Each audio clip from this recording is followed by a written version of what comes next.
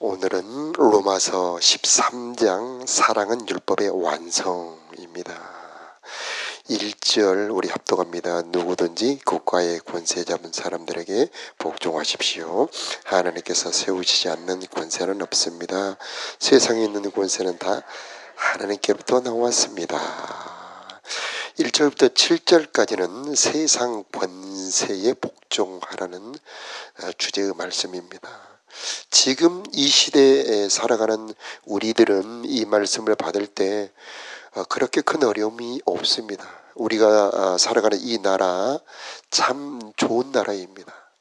지금 우리가 누리고 있는 이 자유민주주의 예, 그리고 우리가 누리는 이 복지 참 놀라운 것들입니다. 그러나 성경이 쓰여진 시대는 그렇지 않았습니다. 정말 난 폭한 시대입니다. 무서운 시대입니다. 예, 로마가 유대를 지배하고 또 통치하는 시대에 정말 예, 살벌한 시대인데 그때 그 권세들에게 복종하라는 이 1절부터 7절까지 말씀을 받은 그 당시의 교인들은 결코 쉬운 말씀이 아닙니다. 여러분 보십시오. 로마서 12장부터 시작되는 예, 성도, 성도들의 삶에 관한 말씀이 어느 것 하나 쉬운 말씀이 있습니까? 그러나 그 말씀을 받을 수 있었던 것은 성령 때문입니다.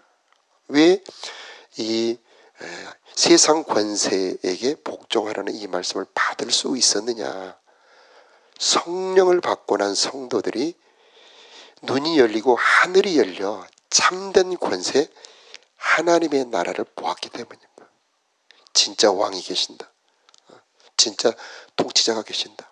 진짜 하나님의 나라가 있다. 그리고 그 하나님의 나라를 누리는 성도들이었습니다. 그래서 그 노예 주인들 그리고 총독들 그 군인들의 그런 학대와 가혹한 통치보다 더 큰 위로를 받습니다. 그래서 그 노예 주인들이나 통치자들을 용서할 수 있을 뿐만 아니라 그들의 권세에 복종할 수도 있었던 것입니다. 베드로 전서에도 동일한 말씀이 나오고 또 에베소서 골로새서에도 나오는 그 말씀을 보면은 그 종들아 너희 상전들에게 복종하되 주님께 복종하듯 복종해라. 어떻게 그럴 수 있을까? 바로 참된 왕 예수 그리스도를 주님으로 모신 사람들은 세상의 어려움보다 더 큰 힘과 은혜를 어, 주시기 때문입니다. 지금 우리 시대에 또 마찬가지 우리들이 당하는 어려움보다 더 큰 은혜를 하나님이 주셔서 넉넉히 감당하게 하신다는 예, 말씀입니다. 자, 2절 이하에도 보면은 하나님께로부터 권세가 나왔다. 그 권세를 거스르는 것은 하나님을 거스르는 것이다. 그렇게 말씀을 하고 있고요. 4절에도 보면은 그들은 하나님의 일꾼들이다. 세상에 권세 잡은 당시의 총독들 그리고 군인들 다스리는 관리들이 하나님이 하는 일을 하고 있다. 그래서 그들이 하는 일은 악을 행하는 사람들에게 벌을 내리고 있다. 이런 하나님의 통치를 대행하고 있었다는 겁니다. 그래서 5절에 권세에 복종하십시오. 그렇게 말하고 있고요. 자, 6절에도 세금을 바치도록 해라. 7절에도 의무를 다하십시오. 그래서 7절에 보면은 국세가 있고 관세가 있죠. 이것은 여러 가지 종류의 세금이 있는데 로마에 바치는 어, 세금도 있고 또 나라에 바치는 세금도 또 따로 있었습니다. 그러나 그 모든 어, 다스림을 받으라. 그 얘기는 바로 이 하나님의 나라를 누리는 사람들은 이 현실의 삶도 어, 충실하게 살아가야 한다는 말씀을 우리들에게 주시고 있는 것입니다. 자, 복음을 받은 사람들은 현실을 무시하지 않습니다. 오히려 더 현실에 충실한 사람들이 되죠. 복음은 이 밖에 있는 현실의 사회 문제를 개혁하는데 그 힘을 쏟는 것이 아니고 사람을 먼저 바꾸려고 합니다. 그래서 먼저 의인이 되기를 힘을 쓰고 그 의인들이 그 사회를 다스릴 수 있도록 하는 것이 바로 복음의 아, 길이 되는 것입니다. 그래서 사람이 새 사람이 되고 하나님의 사람, 공의의 사람, 그리고 사랑의 사람이 되게 하는데 먼저 힘을 어, 쏟고 있는 것입니다. 그래서 8절부터 10절까지 보면은 사랑에 대해서 말씀하고 있지 않습니까? 우리 8절 9절 함께 읽어보도록 하겠습니다. 다른 사람을 사랑하는 빛 외에는 아무 사람에게 아무런 빛도 지지 마십시오. 율법에 가늠하지 말라. 남을 사랑하는 사람은 율법을 온전히 잃은 것이나 다름없습니다. 9절 율법에 가늠하지 말라 살인하지 말라 도둑질하지 말라 탐내지 말라는 계명과 그 밖에 여러 다른 계명들이 있지만은 이 모든 계명은 내 이웃을 내 몸과 같이 사랑하라는 하나의 말씀으로 요약될 수 있습니다. 아멘. 10절도 함께 읽겠습니다. 시작. 사랑은 이웃에게 악을 행하지 않습니다. 그러므로 사랑은 율법의 완성입니다. 아멘. 사랑이 율법의 완성이다. 사랑하라는 것이 하나님의 명령입니다. 그러면 이 왜 우리가 사랑을 해야 할까요? 주님이 우리를 먼저 사랑하셨기 때문입니다. 그래서 주님이 너희를 사랑하신 것처럼 너희도 서로 사랑하라. 새 계명을 주느니 너희가 서로 사랑하라. 이게 바로 주님의 명령입니다. 바로 그리고 이 주님의 명령이 복음입니다. 우리는 로마서를 보면서 3장의 어, 속죄함, 의롭다함만 복음이라고 생각을 하기 쉽습니다. 그러나 그렇지가 않습니다. 3장의 속죄는 복음의 시작입니다. 그리고 8장에는 성령의 복음이 나타나 있고 12장 이후에는 하나님의 거룩한 삶, 성도의 삶을 말하고 있는데 이 성도의 삶도 하나님의 복음이 되는 겁니다. 그러면 왜 이 계명의 말씀들이 복음이 되느냐? 하나님의 말씀을 행하는 자들에게는 복이 있기 때문입니다. 예, 어떤 복이 있느냐? 우리가 로마서 5장에 보았죠. 믿음으로 의롭다 하심을 받았은즉 하나님으로 더불어 화평을 누리죠. 하나님과 화목할 수 있는 사람, 하나님과 교제할 수 있는 사람이 바로 하나님의 계명의 말씀을 순종하는 사람들입니다.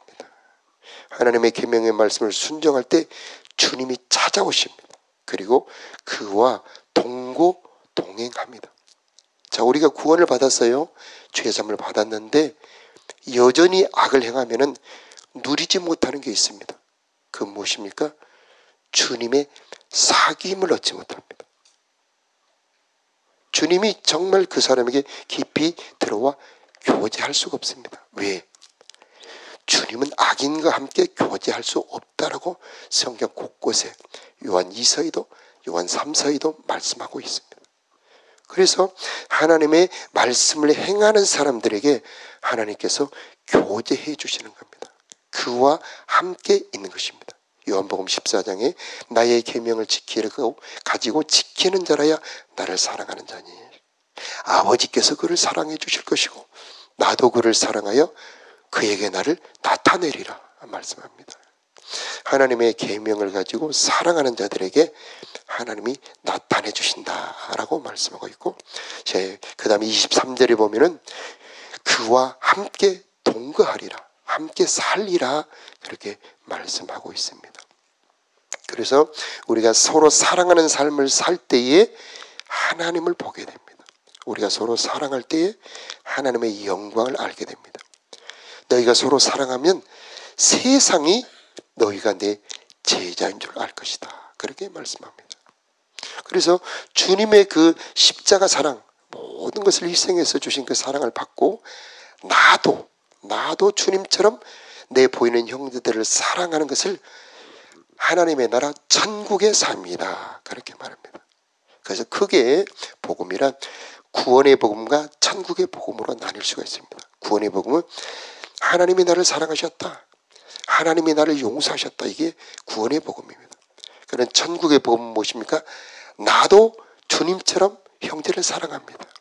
나도 주님이 나를 용서해 주신 것처럼 나도 형제를 사랑하고 나도 형제를 용서합니다. 이게 바로 천국의 복음입니다. 그래서 12장 이후에는 삶이 나오잖아요. 삶을 우리들에게 주시는 이유는 무엇 때문입니까? 우리가 하나님의 나라를 누리게 하기 위함. 즉, 하나님과 교제하는 삶, 하나님과 화목하는 삶을 누리게 하기 위해서 이 계명의 말씀들을 어, 주시는 것입니다. 악에게 지지 말고 선으로 악을 이기라. 그렇죠. 우리들의 삶에 우리를 힘들게 하는 사람들을 진정으로 용서하며 그들을 축복할 때에 하나님이 그에게 나타나시고 하나님이 그에게 세임을 어, 주시는 것입니다. 즉 12장 이후에 나오는 모든 계명 한 말씀 한 말씀은 하나님과 사귀는 방법입니다. 하나님과 교제하는 방법입니다. 그래서 아브라함을 내보시라고 그랬죠. 왜 아브라함을 보시라고 그랬습니까? 아브라함은 하나님의 명령을 순종했습니다. 그 말씀을 행했습니다. 그때에 아브라함을 그 내 친구다 그렇게 말씀했습니다. 그래서 로마서를 쭉 보면은 처음에 3장 4장의 믿음은 그 우리 주 예수 그리스도의 속죄를 믿는 믿음입니다. 그런데 이게 5장, 6장, 7장, 8장을 통해서 나를 주님께 드리는 믿음으로 성장을 합니다. 자, 드디어 12장부터는 순종하는 믿음으로 성장하게 됩니다. 그래서 믿음이라고 하는 것은 이제 주님의 말씀을 믿는 믿음으로 성장합니다. 그 주님의 속죄를 믿는 믿음에서 이제는 주님이 하신 말씀을 믿고 따르는 믿음, 말씀을 믿고 따르는 믿음으로 어, 성장하게 되는 겁니다. 그래서 어제의 말씀에서도 사랑에 대한 계명, 용서에 대한 계명이 나왔지만은 오늘 또 확인하는 것은 너희가 서로 사랑하라는 그 말씀 가운데 이 모든 계명 10절에 악을 행치 말라. 그리고 그 사랑은 율법의 완성이라는 말씀으로 마지막 확인을 주시는 겁니다. 자, 우리 하나님은 성령으로 이 계명을 행할 수 있는 힘을 주십니다. 자, 이 새벽 우리의 기도의 제목 하나님 나에게 성령을 주시어서 하나님의 주신 계명을 행하는 내가 되도록 은혜 베풀어 주시옵소서. 이 기도가 우리들의 아, 기도가 되어야 될 것입니다. 자, 또 하나님의 말씀을 순종하는 삶은 주님 오심을 준비하는 재림을 준비하는 겁니다. 그래서 11절 이하의 14절까지는 바로 주님 오심 신부 담장의 말씀입니다. 11절 우리 함께 읽어볼까요? 시작. 이런 행동을 해야 하는 것은 여러분도 알고 있다시피 벌써 잠에서 깨어날 때가 되었기 때문입니다. 이제 우리의 구원이 처음 믿었을 때보다 더 가까워졌습니다. 죄를 범하는 삶은 잠들어 있는 삶입니다. 그러나 잠에서 깨어나는 삶은 죄를 버리고 회개하는 삶, 거룩한 삶이 깨어 있는 삶입니다. 그래서 깨어라, 깨어라는 말씀이 무슨 말씀입니까? 죄를 버리라는 말씀입니다. 그래서 12절에 보면 어둠의 행실을 벗어버리는 게 어, 깨어라는 말씀이죠. 자, 우리가 구원을 받았습니다. 죄 용서 받았어요. 그런데 여전히 버리지 못하는 죄들이 있습니까? 아직 잠들어 있는 거죠. 아직 단장되지 못하는 것입니다. 그런데 주님께서 이제 주님 오심을 준비하기를 원하고 있는 거죠. 그래서 12절에 어둠의 행실을 벗어버려라. 13절에 아, 그 구체적인 내용들이 나오는데 우리 13절 함께 읽어볼까요? 시작. 낮에 활동하는 사람들처럼 단정히 행동하십시오. 난잡한 유흥을 즐기지 말고 술 취하지 마십시오. 성적으로 물러나거나 대표적인 생활을 버리십시오. 다투지 말고 질투하지 마십시오. 아멘. 네. 자, 이런 우리들이 변해야 될 이유는 무엇이냐? 11절에 우리 다시 한번 읽어보면 이런 행동을 위해 하는 것은 여러분도 알고 있다시피 벌써 잠에서 깨어날 때가 되었기 때문입니다. 이제 시작, 이제 우리의 구원이 처음 믿었을 때보다 더 가까워졌습니다. 여러분, 구원은 처음 믿을 때 받는 것 아닙니까? 그렇죠. 구원이란 맨 처음 예수 믿고 영접할 때 구원을 받는 것이죠. 그런데 오늘 말씀에 우리들의 구원이 처음 믿을 때보다 더 가까워졌다는 말씀은 도대체 무슨 말씀입니까? 여기서 말하는 구원은 우리 주님 재림 때 진노에서 구원입니다. 심판 때에서 구원입니다. 우리 주님 그 거룩한 그리스도의 심판 때에서 진노에서 구원입니다. 그게 바로 로마서 5장에 보니까 장차 진노하심에서 구원을 받을 것이다라고 말씀하고 있습니다. 그래서 구원은 우리가 생각하는 것처럼 한 번이 아니죠. 로마서 3장에 죄 용서함의 구원이 있고요. 이제 율법을 지키지 못하는 이 무능력함에서 구원이 로마서 8장 성령으로 우리들에게 응답이 되고 이제 12장 이후에 그 거룩한 말씀을 지킴으로 장차 진노에서 구원이 있다는 것입니다. 그래서 이제 거룩한 행실, 어둠 행실을 벗어버리고 주님처럼 거룩한 삶을 살아가는 자들이 주님의 진노에서 구원을 받고 영광의 부활에 참여하게 되는 겁니다. 그래서 빌립보서 3장 21절에 거기로부터 구원하는 자 우리 주 예수 그리스도를 기다리노니 만물을 자기에게 복종하게 할 수 있는 자의 역사로 우리의 낮은 몸을 자기 영광의 몸의 형체와처럼 변하게 하시리라 그렇게 말씀하고 있습니다. 자 구원받은 우리들이 이제 죄를 버리는 회개의 삶을 살아가야 한다는 말씀이죠.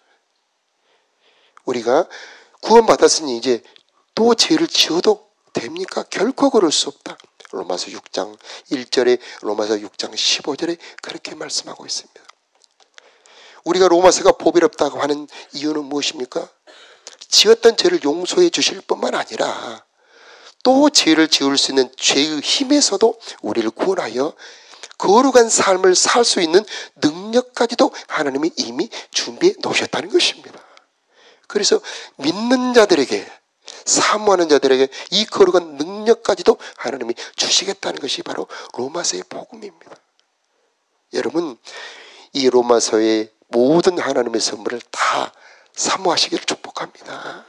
그래서 죄를 이기는 삶, 주님처럼 거룩한 삶을 살아가는 삶, 주님을 닮은 삶이 우리들의 삶이 되기를 주 예수 이름으로 축복합니다. 그 분기점이 무엇입니까? 로마서 12장 1절. 우리들의 몸을 드리는 겁니다. 우리 힘으로 할 수 없습니다. 로마서 12장 이하에 나오는 그 어떤 말씀도 내 능력으로 지킬 수가 없습니다. 그러나 복음에는 하나님의 능력이 나타난다고 로마서 1장 16절에 말씀하고 있지 않습니까? 하나님의 능력은 우리로 하여금 주님의 뜻대로 살 수 있도록 역사해 주시는 것입니다. 그래서 이 새벽에 나와 기도하는 겁니다. 성령의 제일 목적은 로마서 8장 1절에 죄를 이기는 힘이 첫 번째입니다. 죄와 사망의 법에서 해방했다는 표현으로 표현합니다. 쉽게 말하면 죄를 짓지 않을 수 있는 힘입니다. 그게 성령의 첫 번째 능력입니다. 두 번째 능력이 율법의 요구를 이루는 겁니다. 주님이 말씀하신 그 말씀대로 살 수 있는 능력입니다. 에스겔서 36장 27절의 약속의 말씀처럼 내 영을 너희들에게 주어서 너희로 내 윤례를 행하게 해주겠다. 하나님이 약속하셨습니다. 예수님을 통해서 이루어 주셨습니다. 그리고 성령으로 그 능력을 우리들에게 부어주시겠다는 것입니다. 누구에게? 기도하는 자들에게. 누구에게? 자기 몸을 드리는 자들에게. 이 새벽에 기도하러 나오신 여러분의 몸과 마음이 주님께 드려지기를 축복합니다. 예배로 그 몸이 연락되는 자들마다 죄를 짓게 하는 그 모든 죄와 사망의 법에서 제거해 주시고 하나님의 말씀대로 살 수 있는 생명의 성령을 부어 주시어서 우리로 하여금 주님의 뜻대로 살 수 있도록 주님이 역사해 주시겠다는 말씀입니다. 자, 14절 우리 함께 읽겠습니다. 시작. 주 예수 그리스도로 옷 입으십시오. 죄의 본성이 바라는 정욕을 만족시키는 생각을 하지 마십시오. 그래서 주 예수 그리스도로 옷 입으라는 말씀은 이 옷은 성도의 삶을 말합니다. 그래서 계시록 19장에 보니까 세마포를 입도록 허락하셨으니 빛나고 깨끗한 세마포를 입도록 허락하셨으니 이는 성도의 옳은 행실이로다. 이렇게 말씀하고 있어요. 이 성도의 옳은 행실이라고 하는 예복을 예복을 입은 자들이 잔치에 참여할 수 있습니다. 예, 마태복음에 나오지 않습니까? 예복을 입지 않는 사람이 그 잔치에 들어가려고 할때 어, 너는 어찌하여 예복을 입지 않고 왔느냐 하며 그를 쫓아내죠. 청함을 받은 자람한테 택함을 입은 자는 적다는 말씀을 합니다. 구원을 받았지만 천국의 잔치에 참여하지 못할 수도 있다는 말이죠. 그래서 우리들의 이 더러운 옷을 벗어버리고 두루마기를 빨아서 주님이 우리들에게 주신 이 빛나고 깨끗한 세마포로 단장하는 자가 복이 있다. 왜냐? 그 생명나무에 나가며 그 문들을 통하여 성회에 들어갈 권세를 받기 때문이다. 라고 말씀하고 있습니다. 여러분, 복음에는 능력이 있습니다. 그 능력을 받는 통로가 기도입니다. 이 새벽에 오신 여러분들에게 하나님의 능력이 공급되기를 축복합니다. 하나님의 능력은 죄를 이기고 하나님의 뜻대로 살 수 있는 새 힘을 공급해 주시는 것입니다. 옷을 내 스스로 입을 수 없습니다. 그래서 기도하는 겁니다. 하나님, 나는 이 정욕의 삶, 죄의 삶을 이길 수 없습니다. 내 안에 들어오셔서 나의 주님이 되어 주시옵소서. 나를 다스려 주옵소서. 죄의 본성이 바라는 정욕을 이기는 내가 되기를 원합니다. 라고 기도할 때 복음의 능력, 하나님의 능력이 오늘 이 새벽에도 공급이 될 것입니다. 자, 오늘 이 새벽에 성령의 은혜가 여러분에게 충만하게 임하기를 바랍니다. 여러분들의 몸과 마음이 주님께 드려지기를 바랍니다. 그때 법 아래 있지 않냐고 은혜 아래 있게 되는 성령의 비 같은 성령의 담비 같은 은혜가 여러분의 삶을 오늘 하루도 다스려 주시기를 축복합니다. 기도합니다.